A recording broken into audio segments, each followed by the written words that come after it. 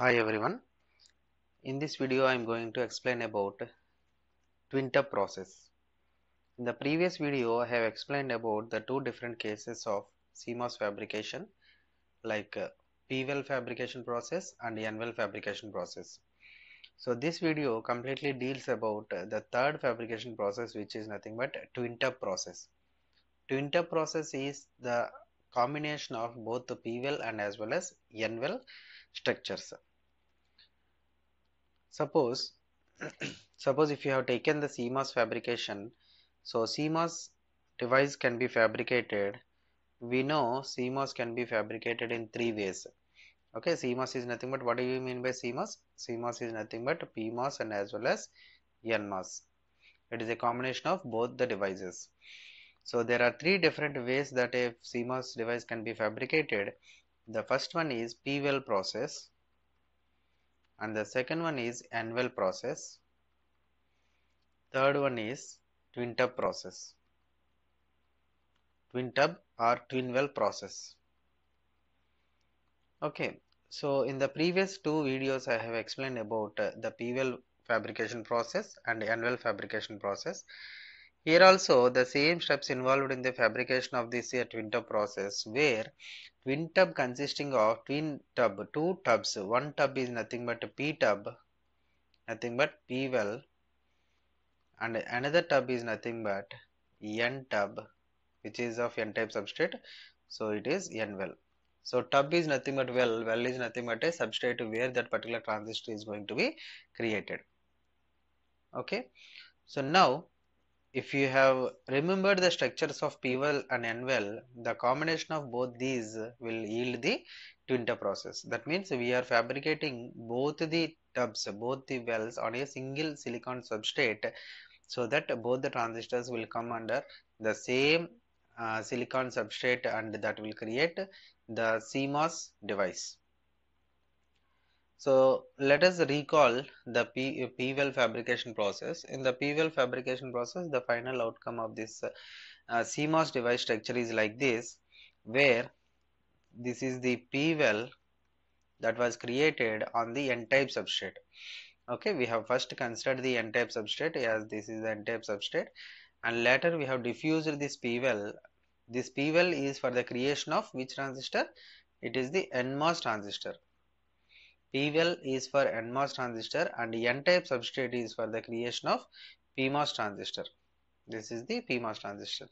So we know the PMOS transistor should be connected between the VDD and output. See VDD is connected to this source terminal and a drain is connected to the output. Similarly, the P-well where the NMOS transistor is fabricated that is going to be connected in between the output and as well as ground. That's why vss is nothing but ground. Okay? And coming to the input case the input is connected between two gates. This is the gate terminal and this is also gate terminal of this transistor and as well as this transistor. These two gates are connected to the input. This is what the structure of the p well fabrication process where we have only one well that is of p type which was fabricated or which was diffused on an n-type substrate. Coming to the second type of fabrication process which is an n-well fabrication process. In the n-well fabrication process the n-well is created on a p-type substrate. Okay, so this is the n-well as we have shown here. It is the n-well where it was created on the p-type substrate okay here the indication the representation of each and every layer represents that particular layer is n type or p type. Okay? So this n-well creates which transistor now? This n-well creates the pmos transistor. Okay? That substrate is the opposite type of transistor. So n-well is nothing but n-type substrate that is going to create a pmos transistor. And this p-type substrate which will create nmos transistor. Okay? We know the basic uh, structure of the PMOS transistor uh, CMOS device where the PMOS is connected between VDD and ground so that's why this PMOS device is connected between VDD and output. And NMOS transistor is connected between output and ground VSS okay? Where the two gates of these two transistors NMOS and PMOS are connected together with the input terminal. Okay? This is what the structure of this uh, CMOS device with this N-well fabrication process. Whatever the fabrication process N-well or P-well, finally the PMOS should be connected in the pull-up place between VDD and output and NMOS transistor should be connected in the pull-down place between output and the ground. Now the mixing of these two devices, these two CMOS structures will give the twin tub process where we are having two tubs okay suppose if you draw the twin tub process. Twin tub process. Okay. I am not explaining the fabrication process of the twin tub because the fabrication of the twin tub is same as the fabrication of, of p well and as well as n well. Okay. I am just explaining the final structure how it will come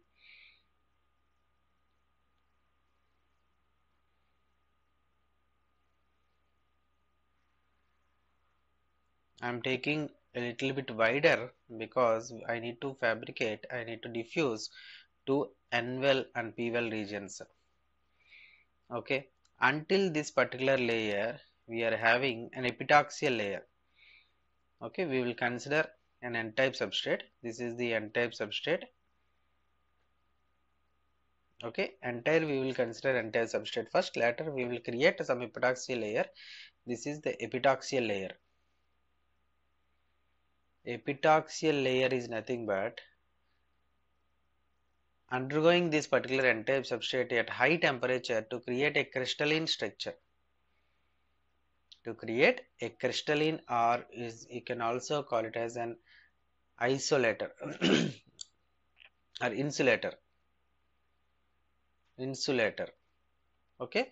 So crystalline structure and this also known as epitaxial layer that is going to be created at high temperature to make it as an insulator.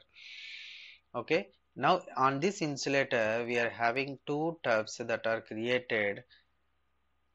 This is first tub and this is going to be the second tub.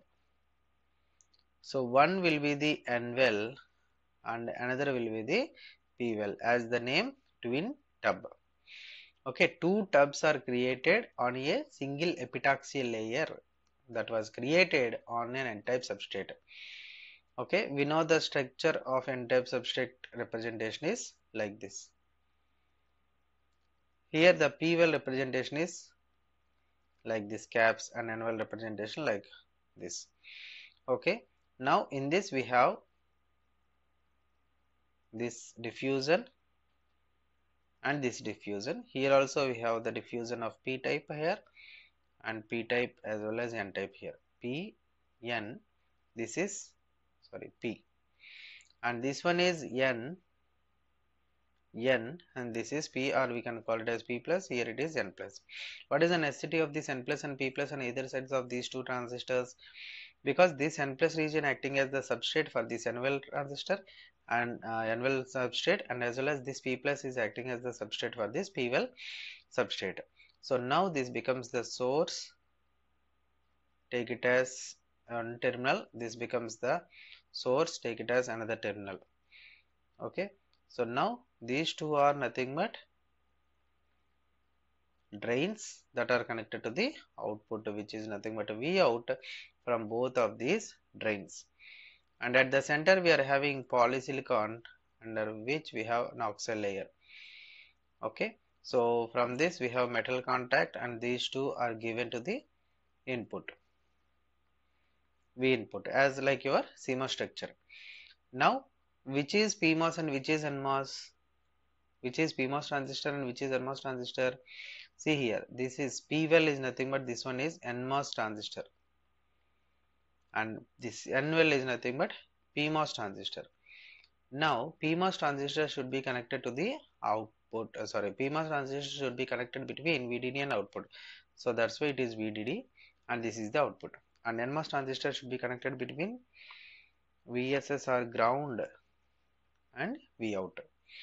Okay, this is as per the structure. Epitaxial layer is indicated by just horizontal lines a dashed line this is the epitaxial layer what do you mean by epitaxial layer see other than this epitaxial layer everything is known which is already I have introduced in different different uh, fabrication process.